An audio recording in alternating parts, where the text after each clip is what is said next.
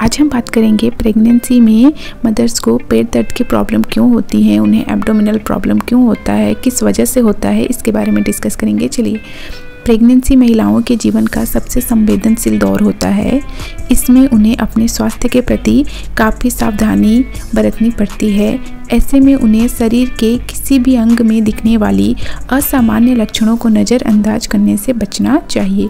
यह माँ और बच्चे दोनों के स्वास्थ्य के लिए बहुत ज़रूरी होता है। प्रेगनेंसी के दौरान कभी कभी महिलाएँ पेट दर्द की अवस्था से भी गुजरती हैं। इसे गर्भावस्था का सामान्य दर्द समझने की गलती नहीं करनी चाहिए।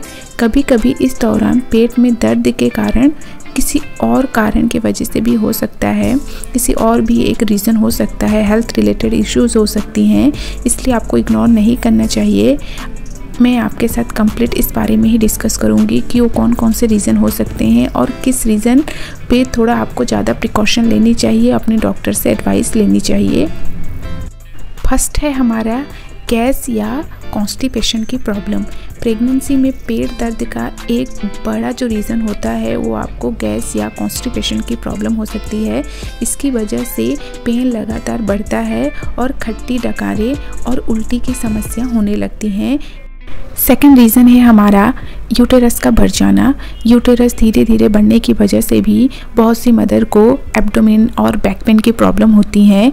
इसके साथ साथ ही नोज़िया की फीलिंग भी हो सकती है या वोमिट भी आने लगता है।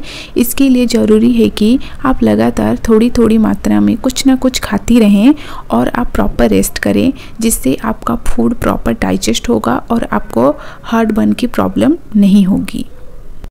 थर्ड रीज़न है हमारा पेट में दर्द मिसकैरेज की वजह से भी हो सकता है। अर्ली प्रेगनेंसी जो हमारी होती है तो मिसकैरेज के चांसेस उसका खतरा बना रहता है। ऐसे में आपके पेट के जो निचले हिस्से में मीन्स लोअर एब्डोमेन में थोड़ा मरोड़ जैसा पेन क्रैम्प जैसा पेन स्टार्ट होता है और आपको ब्लीडिंग भी स्टार्ट होती है। और एब्डोमेन पेन बहुत ज़्यादा बढ़ जाता है। ऐसे अगर आपको सिम्टम्स दिखाई देते हैं तो आपको जल्द ही अपने गायलेकोलॉजिस्ट से कंसल्ट करना चाहिए। फोर्थ रीज़न है हमारा एक्टॉपिक प्रेगनेंसी एक्टॉपिक प्रेगनेंसी के वजह से भी बहुत सी मदर को पेन फील करना पड़ता है।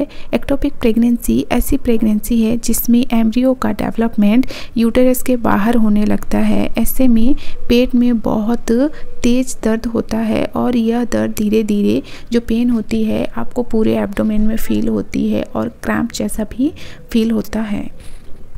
फिफ्थ रीज़न है हमारा प्रेगनेंसी के दौरान यूरिन इन्फेक्शन का होना, अगर आप प्रेगनेंसी के दौरान यूरिन इन्फेक्शन को इग्नोर करती हैं तो यह भी पेट दर्द एप्टोमेन पेन का एक बहुत बड़ा रीज़न होता है।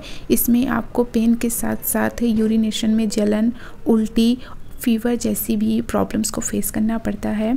अगर समय रहते इस पर आप ध्यान नहीं देती हैं तो यह इन्फेक्शन बढ़ जाता है और यह इन्फेक्शन किडनी के लिए भी बहुत ही बुरा होता है, क्योंकि इसका इफ़ेक्ट किडनी पर भी पड़ता है और किडनी भी सो so, मैंने आपके साथ डिस्कस किया कि प्रेगनेंसी के टाइम पे ऐसे कौन कौन से रीज़न हो सकते हैं जिसकी वजह से एप्टोमेन पेन मदर्स को ज़्यादा फेस करनी पड़ सकती है प्रेग्नेंट वुमेन को। अगर आपको मेरी ये वीडियो अच्छी लगी तो प्लीज़ मेरे चैनल को सब्सक्राइब कीजिए एंड मेरे वीडियोज़ को लाइक कीजिए। Thank you bye bye take care